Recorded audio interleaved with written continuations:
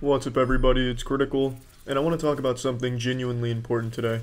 So, one thing that I've done for pretty much my whole life is I try and see what's wrong with the world. I see what's broken, and I never have a solution to fix it because I know there's jack shit I can do to actually fix these big issues. I'm just a normal man with two nipples. I jerk off sometimes. Sometimes I don't jerk off.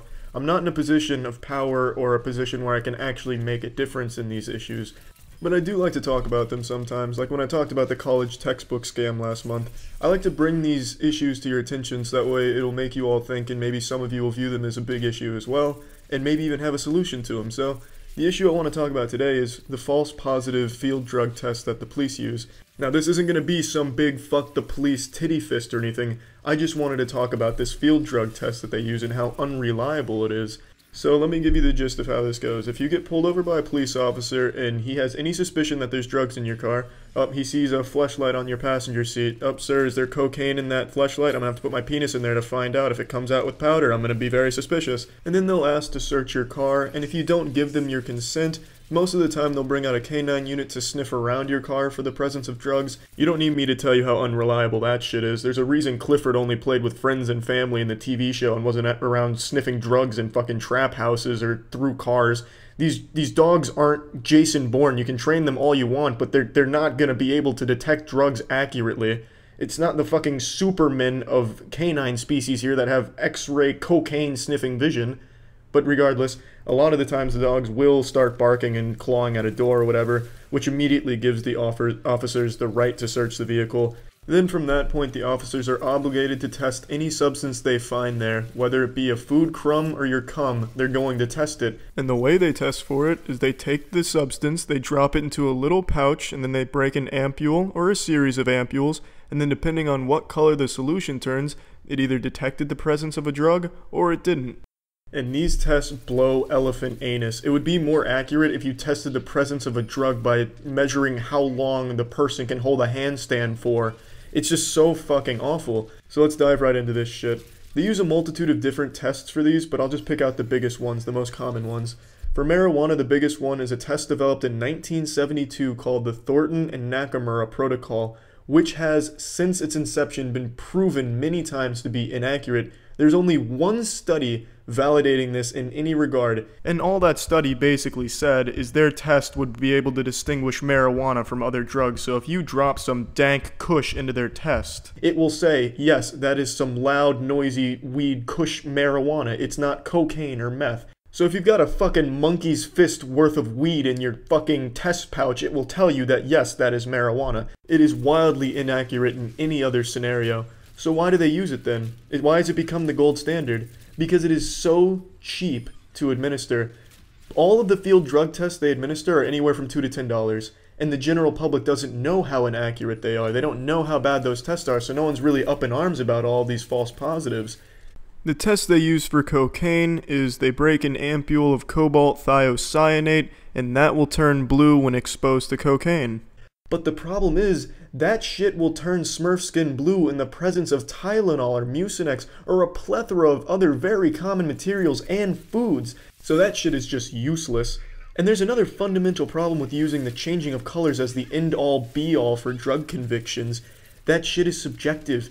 It is up to the officer's discretion if it really is a positive or not. And there's a lot of things at play. If it's really sunny out, that's going to change their perception of the color. If it's really dark out, that's going to change the perception. Their flashing lights will do that as well.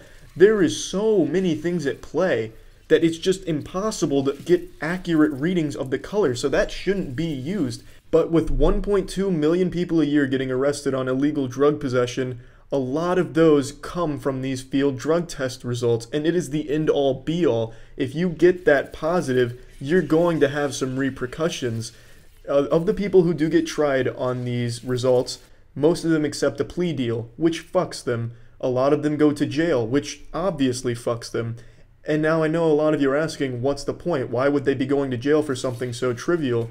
And the answer is pretty simple. The prison system is a multi billion dollar industry, and the more people they lock up, the more money they get. That's not some conspiracy, that's genuinely how it works.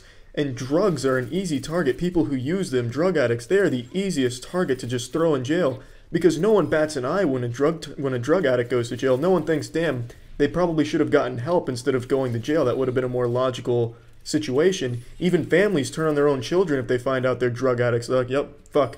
Turns out Rutherford was a drug addict. He deserves to be behind bars. Instead of reflecting, you know, maybe it's my fault as a parent for not being there for him and reaching out and trying to get him help. So by going after drugs, they have this very good cushion that they can use so there's no really backlash. Yep, this person tested positive for drugs there.